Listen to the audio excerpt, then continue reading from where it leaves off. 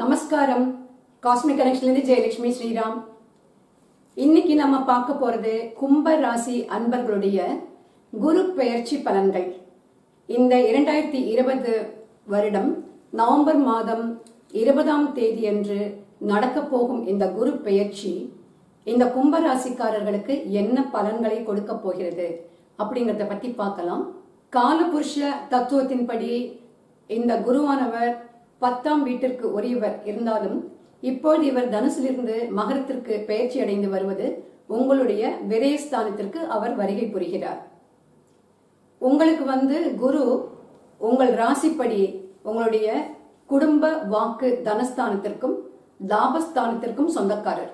எனவே இந்த குடும்ப வாக்கு தன ஸ்தானத்திற்கும் உங்களுடைய லாபஸ்தானத்திற்கும் அதிபதியான குரு உங்களுக்கு கொஞ்சம் கொஞ்சம் நல்லது பண்ணினாலும் இது உங்களுக்கு சரியான நேரமாக கொள்ள முடியாது. ஏன்னா இப்ப பெயர்ச்சி அடைந்திருக்கும் இந்த குருவானவர் உங்களுடைய அர்த்தாஷ்டம ஸ்தானத்தையும் உங்களுடைய அஷ்டமஸ்தானத்தையும் உங்களுடைய ருண ரோகஸ்தானத்தையும் தான் பார்க்க போகிறார். இவர் ஐந்தாம் பார்வையாக உங்களுடைய அர்த்தாஷ்டமஸ்தானத்தையும் இவருடைய ஏழாம் பார்வையாக உங்களுடைய ருண ரோகஸ்தானத்தையும் இவருடைய ஒன்பதாம் பார்வையாக உங்களுடைய அஷ்டமஸ்தானத்தையும் பார்க்க போகிறார். இதன் மூலமாக உங்களுக்கு கிடைக்க போகும் பலன்கள் என்னென்னு பார்ப்போமா? உங்களுடைய ராசிக்கு விரயஸ்தானமான மகரத்திலே சனியுடன் சேர்ந்து குருவும் வந்து இருப்பது அவ்வளவு உங்களுக்கு சாதகமான சூழ்நிலையை கொடுக்காது. இதை தவிர உங்க கர்மஸ்தானத்துல வந்து கேத்து போய் உட்கார்ந்து இருக்காரு கேத்துவை போல் கெடுப்பவர் இல்லை அப்படின்னு உங்களுக்கு தெரியும். அதனால அவர் உங்க கர்மஸ்தானத்துல இருக்காரு. உங்க அர்த்தாஷ்டமத்துல ராகு உட்கார்ந்து அவரை இப்பொழுது குரு பார்த்தாலுமே கர்மஸ்தானத்துல இருக்கும் கேத்து பல விஷயங்களிலே உங்களுக்கு கெடுதலை பண்ணி கொண்டிருப்பார். எனவே நீங்கள் புதிய முயற்சிகளில் ஈடுபட வேண்டாம். புதிய தொழில்களை தொடங்க வேண்டாம். இருப்பதை தக்க வைத்துக் கொள்ளுங்கள். சாமர்த்தியமாக இருப்பதை பிடித்து வைத்துக் கொண்டு வாழ முயற்சி செய்யுங்கள்.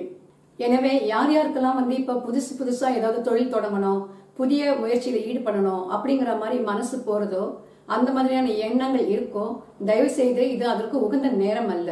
அதனால நீங்கள் இந்த மாதிரி விஷயங்களை கொஞ்ச நாளைக்கு தள்ளி போடுறது உங்களுக்கு நல்லது. இப்ப மட்டும் கிடையாது வரப்போற அடுத்த வருடமும் உங்களுக்கு குரு வந்து நல்ல சாதகமான பொசிஷன்ல வரப்போறது இல்ல காரணம் என்னவென்றால் இந்த குரு இப்பொழுது அதிசாரம் பெற்று கும்பத்திற்கு சென்றாலும் சரி இரண்டாயிரத்தி இருபத்தி ஒன்றாம் ஆண்டு அவர் கும்பத்திற்கே சென்றாலும் சரி அது வந்து உங்களுடைய ஜென்ம ராசி ஜென்ம ராசியில குரு நிற்பது அவ்வளவு நல்லதல்ல. அது ஒரு விரும்பத்தக்க இடம் அல்ல. அதனால இன்னும் ஒரு வருட காலத்துக்கு பிரச்சனைகள் இருக்கு. இப்படிலாம் இந்த அம்மா சொல்லி பயமுறுத்துறாங்களே அப்படின்னு எம்மன நீங்க வருத்தப்படாதீங்க. இதெல்லாம் உங்களுக்கு சொல்றதுக்கு காரணமே நீங்க ஜாகிரதையா இருக்கணும். நீங்க எடுத்து வைக்கிற ஒவ்வொரு அடியும் கேர்ஃபுல்லா எடுத்து வைக்கணும். எதையாவது நம்பி நீங்க எதுலையும் சிக்கல்ல மாட்டிக்க கூடாது அப்படிங்கிற ஒரு நல்லெண்ணத்துல தான் உங்களுக்கு இந்த விஷயங்கள் எல்லாம் சொல்லப்படுகின்றன. பயமுறுத்துவதற்காக எதுவுமே சொல்லப்படவில்லை. இதிலே சொல்லப்படும் கருத்துக்களை மனதில் ஏற்றுக்கொண்டு அதன்படி தயவு செய்து நடந்து கொள்ளுங்கள். இப்ப இந்த குரு பயிற்சினால திருமண தடைகள் ஏற்படும் திருமணங்கள் தள்ளி போகும் புத்திர பாகியங்கள் உடனே ஏற்படாது அதுவும் கொஞ்சம் டிலே ஆகித்தான் போகும். இதை தவிர இவர் வந்து உங்களுடைய சுகஸ்தானத்தை பார்ப்பதால் உங்களுடைய தாயின் உடல்நிலையில் கவனம் தேவை. ஏன்னா இந்த குருவுடைய பார்வை வந்து உங்களுடைய அர்த்தாஷ்டமத்தை பார்க்கிறது. அதனால உங்கள் தாயினுடைய உடல்நிலையிலே கொஞ்சம் கவனம் அதிகமாக செலுத்த வேண்டிய ஒரு காலகட்டம் இது. இந்த குரு ஏழாம் பார்வையாக பார்க்க போவது உங்களுடைய ருண ரோகஸ்தானத்தை. இப்படி இந்த ருண ரோகஸ்தானத்தை பார்க்கும் இவர் இது சத்ருஸ்தானமும் சேர்ந்துதான் இது. இதை உபஜயஸ்தானம் அப்படின்னு சொல்லுவாங்க. இதன் மூலமாக ஓரளவுக்கு உடல்நிலை பாதிக்கப்பட்டவர்களுக்கு உடல்நிலை நல்லபடியாக தேடி வரும். பிரச்சனை இல்லாம அவர்கள் வந்து அந்த நீண்ட கால பிரச்சனையிலிருந்து விடுபட்டு வருவார்கள். சத்துருக்கள் வந்து ஓரளவுக்கு வந்து உங்ககிட்ட வருவதற்கு பயப்படுவார்கள். இது வரைக்கும் யார் யாரெல்லாம் வந்து துணிஞ்சு உங்களை எதிர்க்கணும்னு நினைச்சாங்களோ உங்களுக்கு நேரடியாகவோ மறைமுகமாகவோ சூழ்ச்சிகள் செய்து கொண்டு வந்தார்களோ அவர்களெல்லாம் இப்பொழுது வந்து பயப்பட ஆரம்பிப்பார்கள். ஏன்னா குருவனுடைய பார்வை வந்து அங்கு படிவதால் அவர்கள் வந்து ஒரு வாட்டிக்கு பத்து வாட்டி யோசிப்பாங்க. உங்களுக்கு அகெயின்ஸ்டா போகணும் உங்களுக்கு எதிராக வேலை செய்யணும் அப்படின்னு நினைக்கும் பொழுது கொஞ்சம் யோசிச்சு தான் செய்வார்கள். எதுவுமே அவசரப்பட்டு செய்ய மாட்டார்கள். அதே மாதிரி இவர் தன்னுடைய ஒன்பதாம் பார்வையாக உங்களுடைய அஷ்டமஸ்தானத்தை பார்க்க போறார் அப்படின்னு சொன்னேன் இல்லையா? இந்த மாரகஸ்தானத்தை இவர் பார்ப்பது கூட ஓரளவுக்கு வந்து என்ன சொல்லலாம் அப்படின்னு கேட்டனாக்கா உடல்நிலை ஓரளவுக்கு சீரடையுமே தவிர பெரிய லாபத்தெல்லாம் எதுவும் கொடுக்க போறது இல்ல நீங்க எதிர்பார்த்த பணம் வரவோ பணப்புழக்கமோ பிசினஸ்ல வந்து ஓகோன்னு போறதோ உத்தியோக ரீதியாக உயர்வுகளோ பல ப்ரமோஷன்ஸோ அந்த தொழில் வெற்றி பெறுதலோ இதெல்லாம் நீங்க எதிர்பார்க்க முடியாது. ஓரளவுக்கு வந்து கொஞ்சம் சாதகமான ஒரு முப்பது பர்சன்ட் வச்சுக்கோங்களேன். முப்பது பர்சன்ட் வந்து சாதகமான சூழ்நிலைகள் உங்களுக்கு அமைந்தாலும் உங்களுக்கு பாதகமான சூழ்நிலைகளே பெரும்பாலும் இப்போது இருப்பதால் இதை மனதிலே கொண்டு நீங்கள் செயல்பட வேண்டும். இப்ப இருக்கிற நிலைமை இப்ப இருக்கிற கிரக அமைப்புகள் சூழ்நிலையை பார்த்தீங்கன்னாக்கா குருவும் சனியும் உங்களுக்கு அமர்ந்திருக்கும் அந்த விரயஸ்தானமும் சரியான இடம் கிடையாது. அதே மாதிரி அதிசாரம் பெற்று அவர் வரப்போகும் உங்களுடைய ராசியும் வந்து உங்களுக்கு நல்லது செய்ய போறதில்லை.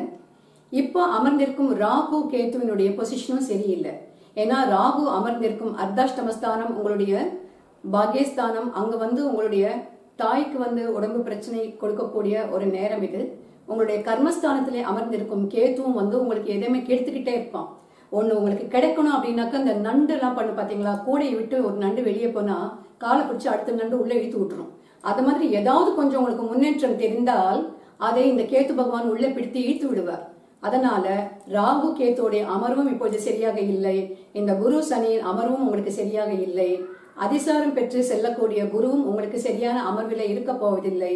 இதை மனதிலே கொண்டு இப்படியெல்லாம் ஓவரா பயமுறுத்துறாங்களே அப்படின்னு நினைக்காம இதை காஷியஸா எடுத்துக்கிண்டு இங்க இதை வந்து உங்களுக்கு கொடுக்கப்பட்ட ஒரு சில முன் அறிவிப்புகள் அப்படின்னு சொல்லி ஒரு ஜாகிரதை உணர்ச்சியோட நீங்கள் செயல்பட்டு வந்தீர்களானால் உங்களுக்கு நிச்சயமாக இந்த குரு பயிற்சியை தாண்டி விடுவீர்கள். இந்த குரு பயிற்சி மட்டுமல்ல வரப்போகக்கூடிய குரு பயிற்சியிலும் சில கஷ்டங்கள் இருக்கும். ஆனால் இந்த அளவுக்கு இருக்காது. இதையும் மீறி உங்களுடைய ஜனன கால ஜாதகத்திலே இந்த குருவின் அமர்வு உங்களுடைய லக்னம் உங்களுடைய நட்சத்திரம் இந்த குருவினுடைய மறைவு ஸ்தானம் கோச்சார ரீதியாக குருவின் நிலைமை அந்த தசா புக்தி இதை எல்லாமே கணக்கில் கொண்டு பார்த்தோமே ஆனால் உங்களுக்கு கொஞ்சம் பொசிஷன் மாறலாம். ஏன்னா இது வந்து ஜென்ரலைஸ்டா நம்ம சொல்றோம்.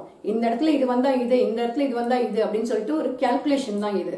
இதையும் மீறி தனிப்பட்ட முறையில உங்களுக்கு குரு எப்படி இருக்காரு அப்படிங்கறத தெரிஞ்சுக்கிட்டோம்னா நிச்சயமா அதற்கு தகுந்த பலன்கள் மாறுவதற்கு நிறையவே வாய்ப்புகள் இருக்கு. அதனால மனதை தளர விட வேண்டாம். அப்படி இருப்பவர்கள் உங்களுக்கு ஏதாவது சந்தேகம் இருந்தால் ஏதாவது ஒரு அஸ்ட்ராலஜரை ஏதாவது ஒரு ஜோதிடரை சென்று பார்த்து உங்களுடைய ஜனனகால ஜாதக குறிப்பை கொடுத்து இந்த உருப்பெயர்ச்சி உங்களுக்கு எப்படி இருக்கும் அப்படின்னு நீங்க கேட்டுக்கலாம். அதனால மனதை தளர விடாமல் தைரியத்தை இழக்காமல் நீங்கள் மிகவும் ஜாகிரதையாக அடி எடுத்து வைத்து வாழ வேண்டிய ஒரு காலகட்டம் இது. நாளைக்கு மீண்டும் மீன ராசிக்காரர்களுடன் சந்திப்போம். நன்றி.